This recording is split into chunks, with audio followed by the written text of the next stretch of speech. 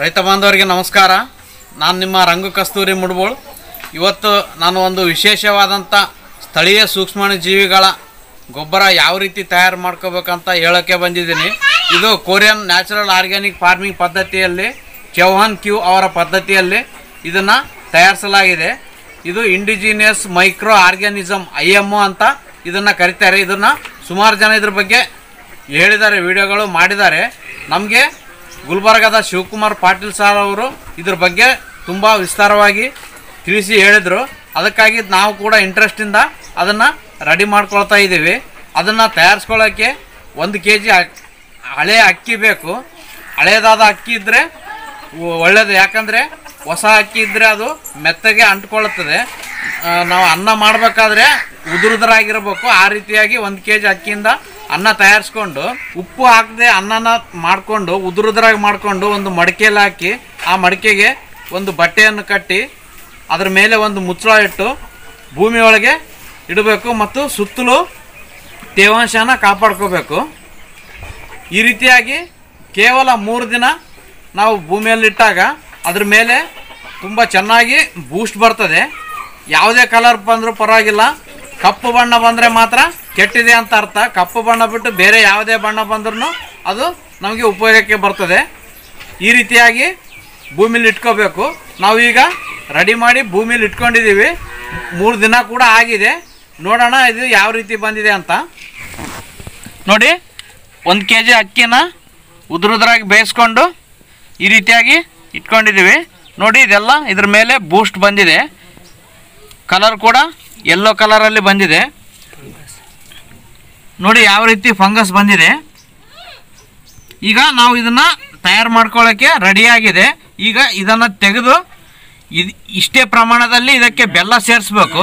ಬೆಲ್ಲ ಸೇರಿಸಿ ಚೆನ್ನಾಗಿ ಮೊಸರನ್ನು ಯಾವ ರೀತಿ ಕಲಿಸ್ತೀವೋ ಆ ರೀತಿ ಚೆನ್ನಾಗಿ ಮಿಕ್ಸ್ ಮಾಡಬೇಕು. ಆ ರೀತಿ ಮಿಕ್ಸ್ ಮಾಡಿ ಇದನ್ನು ನಾವು ಒಂದು ಬಾಕ್ಸ್ ಕಂಟೈನರಲ್ಲಿ ಆಗಲಿ ಇಲ್ಲ ಬಾಕ್ಸಲ್ಲಾಗಲಿ ಹಾಕಿ ಒಂದು ಬಟ್ಟೆ ಕಟ್ಟಿ ಸ್ಟೋರ್ ಮಾಡ್ಬೋದು.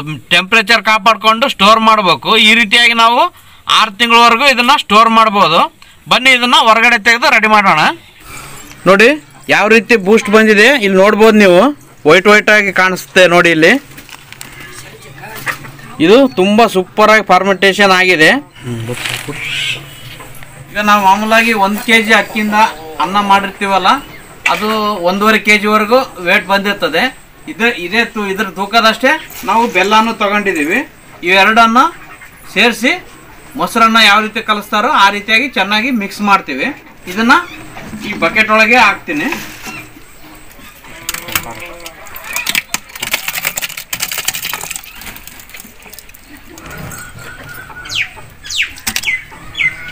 ಇದಕ್ಕೆ ಬೆಲ್ಲ ಕೂಡ ಹಾಕ್ತಾ ಇದ್ದೀವಿ.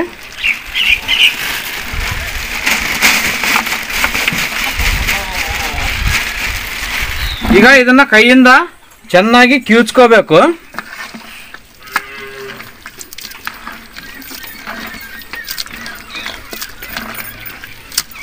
ನೋಡಿ, ಈ ರೀತಿಯಾಗಿ ಚೆನ್ನಾಗಿ ಮಿಕ್ಸ್ ಆಗಬೇಕು, ಅನ್ನ ಮತ್ತು ಬೆಲ್ಲ. ಒಂಥರ ಮೊಸರನ್ನ ಯಾವ ರೀತಿ ಕಲಿಸ್ತೀವೋ, ಆ ರೀತಿ ಮೆತ್ತಗಾಗೋ ಥರ ಕಲಿಸ್ಬೇಕು.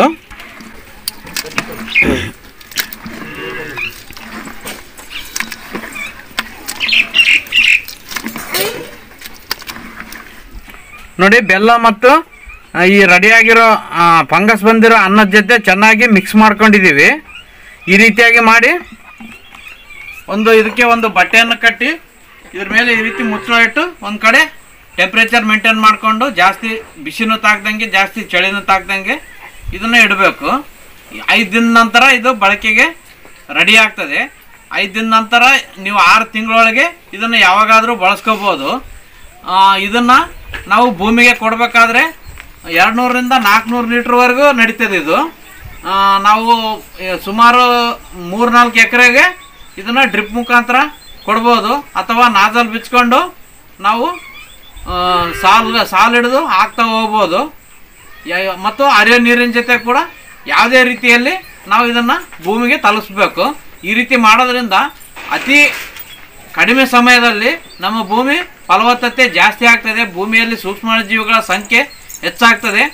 ಮತ್ತು ನಾವು ಬೆಳೆದಂಥ ಬೆಳೆ ಇಳುವರಿ ಕೂಡ ತುಂಬ ಚೆನ್ನಾಗಿ ಬರ್ತದೆ. ಈ ರೀತಿಯಾಗಿ ಇದನ್ನು ಯೂಸ್ ಮಾಡ್ಕೋಬೋದು. ನಾನು ವಿಡಿಯೋ ಮೊದಲಲ್ಲಿ ಹೇಳಿದ್ದೆ, ಇದು ಚೌಹಾನ್ ಕ್ಯೂ ಪದ್ಧತಿ ಕೋರಿಯಾದವರ ಪದ್ಧತಿ ಅಂತ ಹೇಳಿದ್ದೆ. ಇದು ಮುಖ್ಯವಾಗಿ ಹೇಳ್ಬೇಕಂದ್ರೆ ನಮ್ಮ ಭಾರತ ದೇಶದ ಪದ್ಧತಿ ಇದು.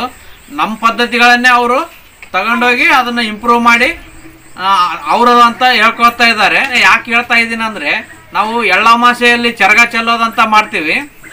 ಅಂದರೆ, ನಾವು ಹಲವಾರು ಥರದ ಅನ್ನ, ಹೋಳಿಗೆ, ತರಕಾರಿ ಕಾಳು, ಕಡಿ ಎಲ್ಲ ದಿನಸುಗಳನ್ನು ಮಾಡಿ ಎಲ್ಲನೂ ಸೇರಿಸಿ ಕಿವುಚಿ ನಾವು ಹೊಲ ತುಂಬ ಚೆಲ್ಲಿ ಬರ್ತೀವಿ ಎಳ್ಳಮಾಸೆ ಟೈಮಲ್ಲಿ. ಅದನ್ನು ಚರಗ ಚೆಲ್ಲೋದಂತ ಎಲ್ಲ ಪ್ರತಿಯೊಬ್ಬ ರೈತರಿಗೂ ಗೊತ್ತು. ಮತ್ತು ನಾವು ಹತ್ತಿ ಬೆಳೆದಿರ್ತೀವಿ. ಹತ್ತಿ ಬೆಳೆದಾಗ ಹತ್ತಿ ಬಿಡಿಸೋ ಟೈಮಲ್ಲಿ ನಾವು ಮೊಸರು ಮತ್ತು ಅನ್ನನ ಚೆನ್ನಾಗಿ ಕಿವುಚ್ಕೊಂಡು ಅದನ್ನು ಹೊಲ್ ತುಂಬ ಚೆಲ್ತೀವಿ. ಯಾಕಂದರೆ ಹತ್ತಿ ಕಾಯಾಗಿ ಹತ್ತಿ ಎಲ್ಲ ಬಂದಮೇಲೆ ಗಿಡದಲ್ಲಿ ಪವರ್ ಕಡಿಮೆ ಆಗಿರ್ತದೆ. ಭೂಮಿಯಲ್ಲಿ ಜೀವಾಣುಗಳ ಸಂಖ್ಯೆ ಜಾಸ್ತಿ ಆದರೆ ಮತ್ತೆ ಎರಡನೇ ಬಿಡಿ ಹತ್ತಿ ತುಂಬ ಚೆನ್ನಾಗಿ ಬರ್ತದೆ ಅಂತ ಒಂದು ನಂಬಿಕೆಯಿಂದ ನಾವು ಅನ್ನ ಮೊಸರನ್ನ ಚೆನ್ನಾಗಿ ಕಿವುಚಿ ಹೊಲ್ ತುಂಬ ಚೆಲ್ತೀವಿ. ನೀವು ಕೂಡ ಮಾಡ್ತಿರ್ಬೋದು ಈ ರೀತಿ ಪದ್ಧತಿ. ಇಂಥ ಪದ್ಧತಿಗಳನ್ನೇ ಅವರು ಸೂಕ್ಷ್ಮವಾಗಿ ಪರಿಶೀಲಿಸಿ ಅದ್ರ ಬಗ್ಗೆ ಅಧ್ಯಯನ ಮಾಡಿ ಅವ್ರ ದೇಶದಲ್ಲಿ ಹೋಗಿ ಡೆವಲಪ್ ಮಾಡಿದ್ದಾರೆ. ಅವರು ನಮ್ಮ ಪದ್ಧತಿ ಅಂತ ಹೇಳ್ತಾ ಇದ್ದಾರೆ. ಆ್ಯಕ್ಚುಲ್ ಆಗಿ ಹೇಳ್ಬೇಕಂದ್ರೆ ಇದು ನಮ್ಮ ಭಾರತ ದೇಶದ ಪದ್ಧತಿನೇ. ನಾವು ಚರ್ಗ ಚೆಲ್ಲೋದಾಗ್ಲಿ ಮತ್ತು ಈ ರೀತಿ ಅನ್ನ, ಮೊಸರನ್ನ ಕಲಸಿ ಒಂದು ತುಂಬ ಚೆಲ್ಲೋದಾಗ್ಲಿ ಇದನ್ನ ನಮ್ಮ ಹಿರಿಯರ ಕಾಲದಿಂದಲೂ ಮಾಡ್ತಾ ಬಂದಿದ್ದಾರೆ. ಅದಕ್ಕೆ ಅರ್ಥ, ಅದರಲ್ಲಿ ಅರ್ಥ ಇದ್ದರೆ ಮಾಡ್ತಿದ್ದಾರೆ ಅವರು. ಕೆಲವೊಂದು ಜನ ಮೂಢನಂಬಿಕೆ ಆರಿ ಅದು ಇದು ಅಂತ ಹೇಳ್ತಾರೆ. ಆದರೆ ಸೂಕ್ಷ್ಮವಾಗಿ ವಿಚಾರಿಸ್ತಾ ಹೋದರೆ ನಮ್ಮ ಭಾರತದಲ್ಲಿ ಹಲವಾರು ಪದ್ಧತಿಗಳನ್ನು ಮಾಡ್ತಾ ಇದ್ದಾರಲ್ಲ, ಅವೆಲ್ಲವೂ ಕೂಡ ನಮ್ಮ ಭೂಮಿಗೆ, ನಮ್ಮ ಆರೋಗ್ಯಕ್ಕೆ ಉಪಯೋಗವಾಗುವಂಥ ಪದ್ಧತಿಗಳೇ. ನಾವು ಸರ್ಗ ಚೆಲ್ಲೋದಾಗಲಿ, ಮೊಸರನ್ನ ಹಾಕೋದಾಗಲಿ ಆ ರೀತಿ ಮಾಡೋದ್ರಿಂದ ಭೂಮಿಯಲ್ಲಿ ಕಡಿಮೆ ಆದಂಥ ಸೂಕ್ಷ್ಮಾಣು ಜೀವಿಗಳ ಸಂಖ್ಯೆ, ಅದನ್ನು ಚೆಲ್ಲಿ ಅದರಲ್ಲಿ ಫಾರ್ಮೆಂಟೇಷನ್ ಆಗಿ ಡೆವಲಪ್ ಆಗಿ ಭೂಮಿ ಫಲವತ್ತತೆ ಆಗ್ತದೆ. ಈ ರೀತಿಯಾಗಿ ಹಿರಿಯರು ಮಾಡ್ಕೊಂಡು ಬಂದಿದ್ದಾರೆ. ನಾವು ಕೂಡ ಇದನ್ನು ಮುಂದುವರ್ಸ್ಕೊಂಡು ಹೋಗ್ಬೇಕು. ಅದೇ ಪದ್ಧತಿಯಲ್ಲಿ ಈ ಸ್ಥಳೀಯ ಸೂಕ್ಷ್ಮಾಣು ಜೀವಿಗಳ ಗೊಬ್ಬರ ರೆಡಿ ಮಾಡಿಕೊಂಡು ನಾವು ಭೂಮಿಗೂ ಕೊಡಬೇಕು ಮತ್ತು ಭೂಮಿನ ಫಲವತ್ತತೆ ಮಾಡಬೇಕು. ಆ್ಯಕ್ಚುಲ್ ಆಗಿ ನಾವು ಇದನ್ನು ನಮ್ಮ ಹತ್ತಿ ಕಟ್ಟಿಗೆ, ತೊಗರಿ ಕಟ್ಟಿಗೆ, ಈ ಥರ ಕಟ್ಟಿಗೆಗಳು ಇರ್ತಾವಲ್ಲ, ಅವನ್ನೆಲ್ಲ ಕುಳಿಬೇಕಾದ್ರೆ ಸುಮಾರು ದಿನ ಇಡ್ತದೆ ಅದನ್ನು ನಮ್ಮ ಸುರೇಶ್ ಅವರು ಹೊಲದಲ್ಲಿ ಒಂದು ಕಡೆ ಹಾಕಿ ಅದ್ರ ಮೇಲೆ ಎರಡು ಮೂರು ಟ್ರಿಪ್ ಗೊಬ್ಬರನೂ ಹಾಕಿದ್ದೀವಿ ಮುಂದಿನ ದಿನಗಳೇ ಆ ವಿಡಿಯೋ ಕೂಡ ಮಾಡ್ತೀನಿ. ಅದಕ್ಕೆ ಇದನ್ನು ಕಟ್ಟಿಗೆ ಕಟ್ಟಿಗೆ ಕೊಳಿಸೋಕ್ಕೋಸ್ಕರ ಇದನ್ನು ಹಾಕ್ತಾ ಇದ್ದೀವಿ ಆ ಕೆಲಸನೂ ತುಂಬ ಚೆನ್ನಾಗಿ ಮಾಡ್ತದೆ ಇದು ಕೇವಲ ಒಂದು ವಾರದಲ್ಲಿ ಕಟ್ಟಿಗೆಗಳೆಲ್ಲ ಓಪನ್ ಆಗಿ ಮೆತ್ತಗಾಗ್ತವೆ, ಆ ರೀತಿ ಕೆಲಸ ಮಾಡ್ತದೆ. ನೀವು ಕೂಡ ಈ ರೀತಿ ಕೇವಲ ಅನ್ನದಿಂದ ಯಾವುದೇ ಖರ್ಚಿಲ್ಲದೆ ಈ ಸ್ಥಳೀಯ ಸೂಕ್ಷ್ಮಣಜೀವಿಗಳ ಗೊಬ್ಬರವನ್ನು ತಯಾರಿಸ್ಕೊಂಡು ನಮ್ಮ ಭೂಮಿಯನ್ನು ಸುಧಾರಿಸ್ಕೊಳ್ಬೋದು ಅಂತ ಹೇಳ್ತಾ, ಇದೇ ರೀತಿ ಇನ್ನೂ ಹೆಚ್ಚಿನ ವಿಡಿಯೋಗಳನ್ನು ನೋಡಲು ನನ್ನ ಚಾನಲ್ನ ಹೊಸದಾಗಿ ನೋಡ್ತಿರೋರು ಸಬ್ಸ್ಕ್ರೈಬ್ ಮಾಡಿರಿ ಮತ್ತು ಈ ವಿಡಿಯೋನ ಸುಮಾರು ಜನರಿಗೆ ಶೇರ್ ಮಾಡಿರಿ ಅಂತ ಹೇಳ್ತಾ ಮುಂದಿನ ವಿಡಿಯೋದಲ್ಲಿ ಇನ್ನೂ ಹೆಚ್ಚಿನ ಮಾಹಿತಿಯೊಂದಿಗೆ ನಿಮ್ಮ ಮುಂದೆ ಬರ್ತೇನೆ ಅಲ್ಲಿವರೆಗೂ ನಮಸ್ಕಾರ